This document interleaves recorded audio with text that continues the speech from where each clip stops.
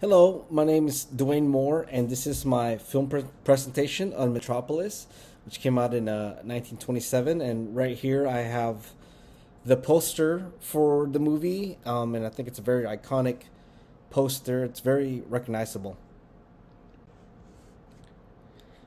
So, what is Metropolis exactly about? Uh, it is about a ut- utopian society with two extreme classes.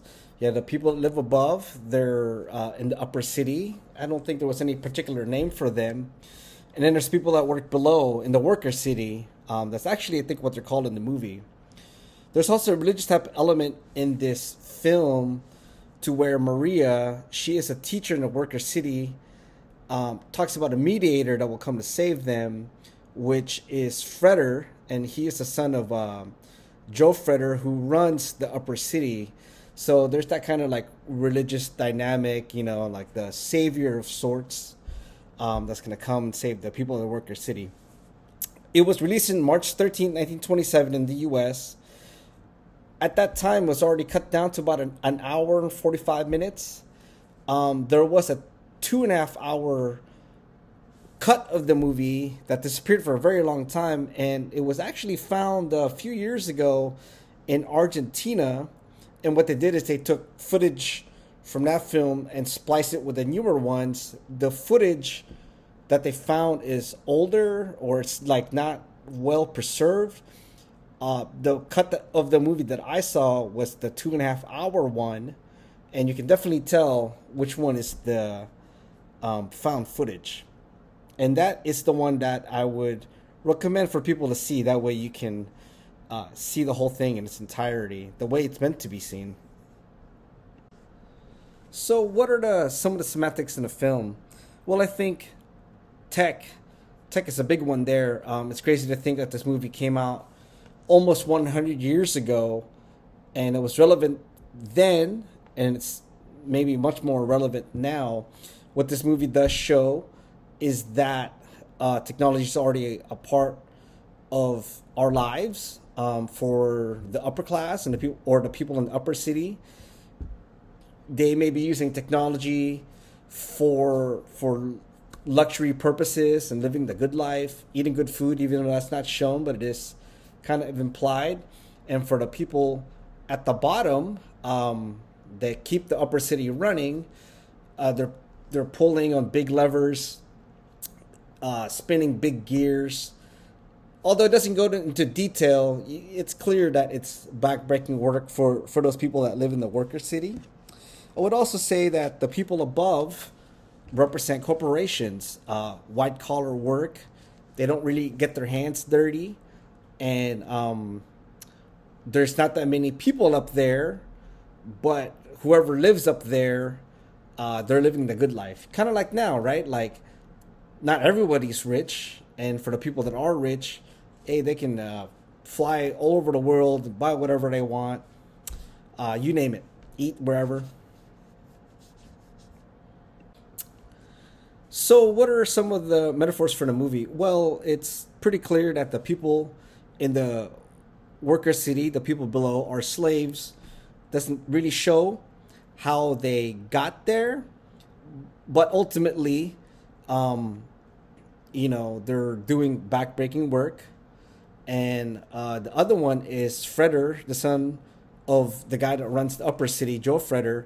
He is like the messiah for the working class people, kind of like a Jesus Christ type character, where uh, they put faith in him to save the people of worker city, so they they're not working so hard. And ultimately, in the movie, he does do that the allegory that I see is uh, capitalism. The people in the upper city work really hard, uh, well, white collar hard work to get to where they are, and um, you know, in a way, they're kind of taking uh, control or advantage over the people at the work city, at the worker city. No different than what we see uh, as American consumers. You know, I think we all know that Nike shoes don't cost $250 to make, you know, uh, it's way less than that. And for the ideologies, I think the people up top want to keep things unequal. They want to keep their lives going. They don't want to lose their lifestyle, and the people at the bottom want equality that they maybe not necessarily want to be rich and live the good life, but they definitely don't want to be doing that backbreaking work anymore. So I thought this was an interesting one. Um, the representations of males of, of the gender. Uh, the males represent power, heart, and work. So the people up top, uh, they're mainly they, they really didn't show any females but they represent the power, right? Uh, they they run things. Um, what they say goes. Um, Freder, the son of uh, Joe Fredersen, the one that ends up saving the pe- the people in the worker city, uh, he represents heart because he at in the beginning of the movie he ends up going down there, finding out about these people, didn't know who they were, but he Im- immediately um, empathized with them and even actually started, you know, turning some gears and stuff for a guy that uh, I guess his shift was changing. And once he saw them, he wanted to help them out. Um, and he didn't even know that they existed. And of course, uh, work. Uh, everyone in the worker city, uh, with exception of Maria, but she not clear how she got there, uh, are all men, and they're doing backbreaking work to keep uh, the upper city running.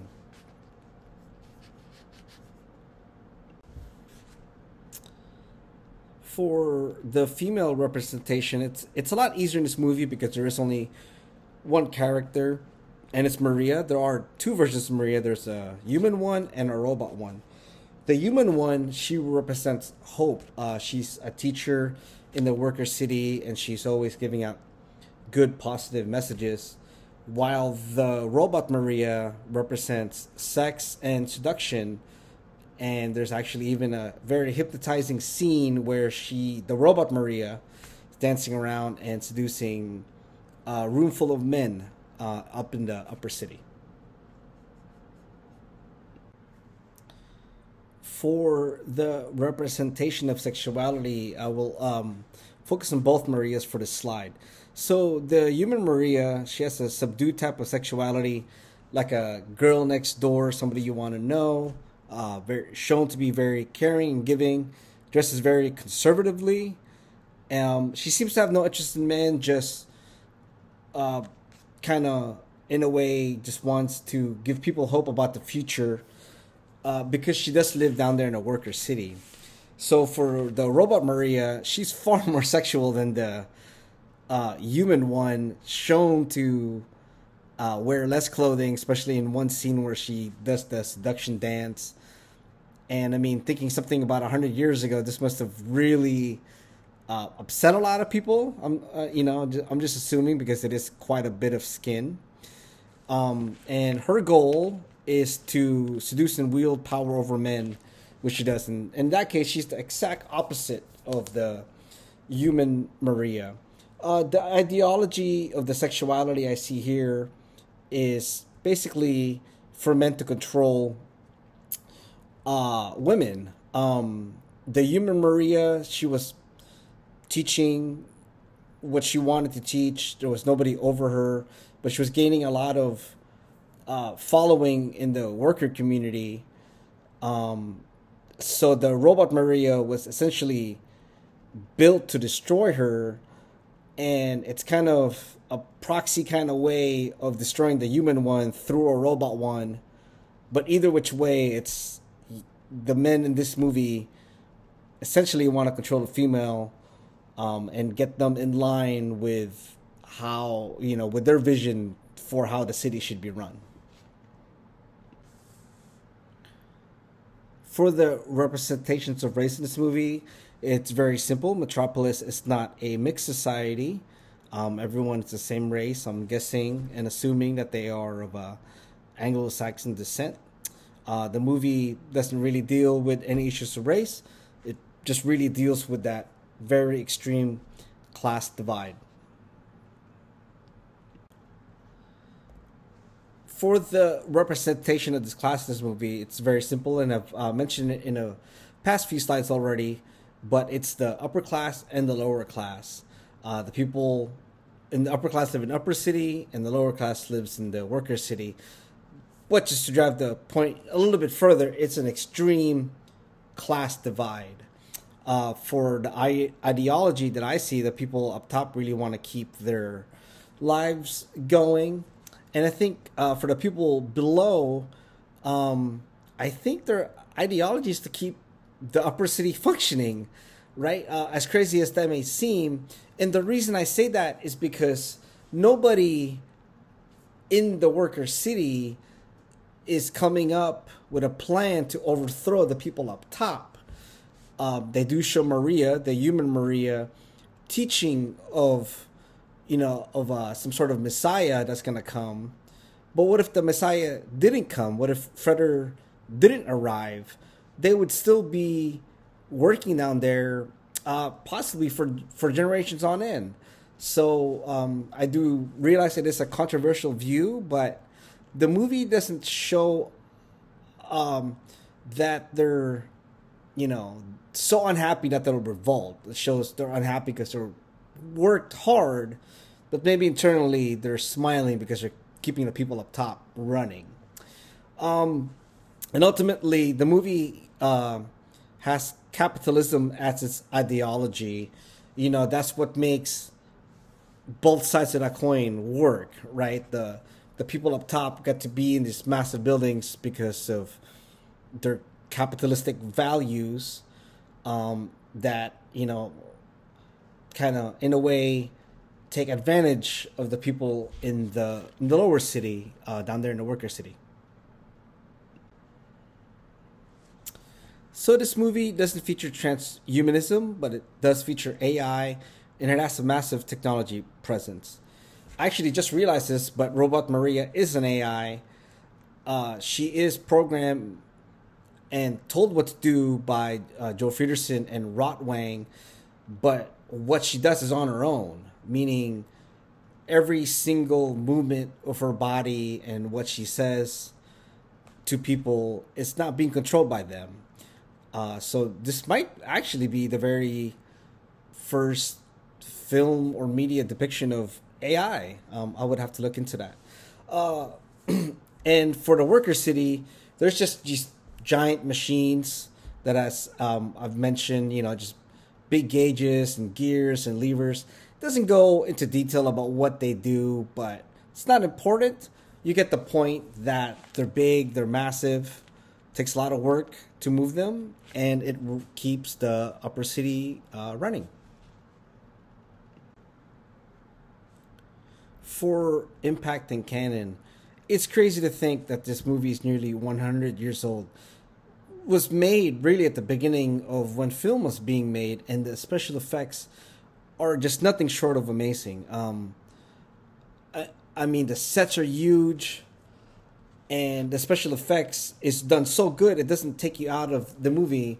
And you and you know uh, what I mean by that is you, sometimes you watch films like B movies and the special effects are so bad, you're like, ah, that looked really bad. And then you stop to think about how bad it is, and it takes you out of the story.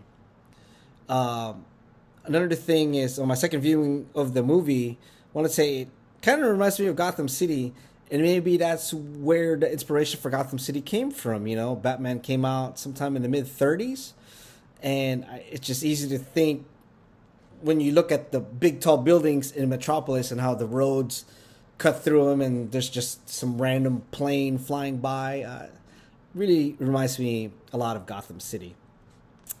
Uh, the movie can make you fear the future and give you hope at the same time. You know, this movie is both utopian and dystopian at the same time. Just kind of depends on maybe where you're born. You know, because if you're born in the upper class, hey, you're going to live the good life. And if you are born in the worker class, uh, the way this movie has it, you're just going to be working there forever and ever and uh, breaking your back for the people in the upper city, you know. Um, so yeah, so it gives you hope and it gives you, you know, makes you fear at the same time. So um, what's interesting is the robot Maria and how she looks um, in terms of pop culture has actually been, I don't want to say parodied, but there have been uh, some outfits that have been worn by Beyonce and Lady Gaga that really look like it. Um, so that's you know the robot Maria is is a very recognizable figure. Uh, talked to my mom the other day, and I was telling her about this class and this movie, and she's like, "What is it?" I'm like, "Well, let me show you." You know the picture of the movie, and I showed her the picture with Robot Maria. She's like, "Oh yeah, I know, I know what that is." Even though she's never seen it, just like me, I never seen it prior to class. I knew of it. Maybe I, you know, maybe if you don't know the name, you're gonna recognize Robot Robot Maria.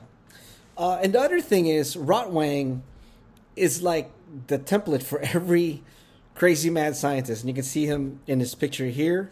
His right hand is cut, which, you know, if you're a Star Wars fan, uh, Luke famously gets his hand cut in um, one of the movies.